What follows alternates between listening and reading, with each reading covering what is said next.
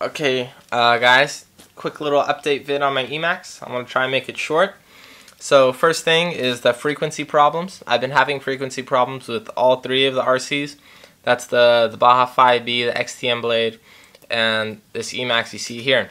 Basically, it'll just start going full throttle and steering in every other direction and crashing it. So I need to change the crystals out, hopefully get something in a random number, or go to 2.4 gigahertz if that's not resolved.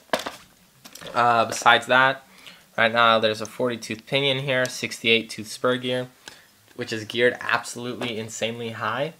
So I'm going to be ordering um, Kershaw Designs steel 25 tooth pinion gears. I'm going to put those on, see if the cooling gets better because right now I'm having heating issues because these things are absolutely insanely taking an insane amount of juice from the ESC and batteries, so that's overheating. So I'm going to see if that gets better.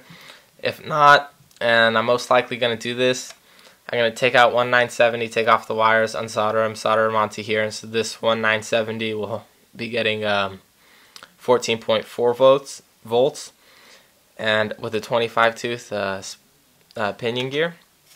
That way it'll keep down the cooling here.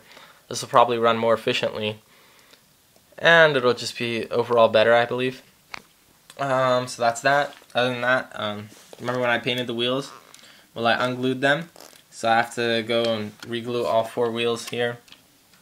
Um, uh, the back bumper, uh, since these are RC Raven, if you know, um, RC Raven has really bendable and uh, what do you call it, soft aluminum.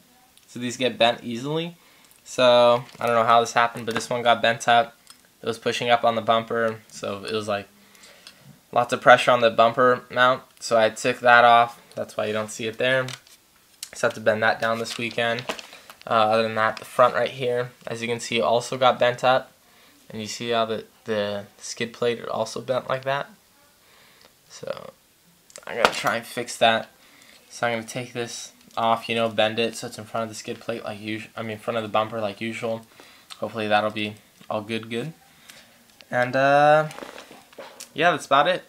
So, hopefully you're going to be looking at new gearing, one Revolver 970, and some more vids, of course, as soon as I can get it up and running, because right now, not so much. So, thank you for watching my videos, and I hope you stay updated. And, yeah, so have a good night, good day, or good afternoon. Bye.